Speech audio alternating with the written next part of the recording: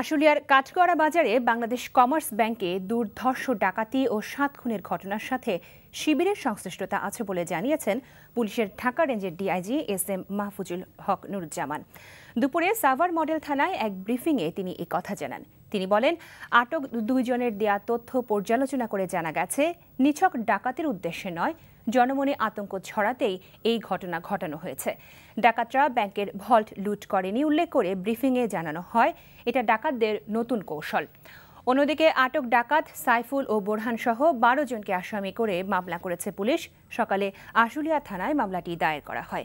আর ডাকাতির ঘটনার প্রতিবাদে ব্যবসা প্রতিষ্ঠান বন্ধ রেখেছেন ব্যবসায়ীরা। রাতেই নিহত ব্যাংক কর্মকর্তা সহ আট জনের মরদেহ ময়নাতদন্তের জন্য পাঠানো হয় ঢাকা মেডিকেল কলেজ হাসপাতাল মর্গে। নিজে হয়তো ছুরিকাঘাত করেছে বোঝা যাচ্ছে।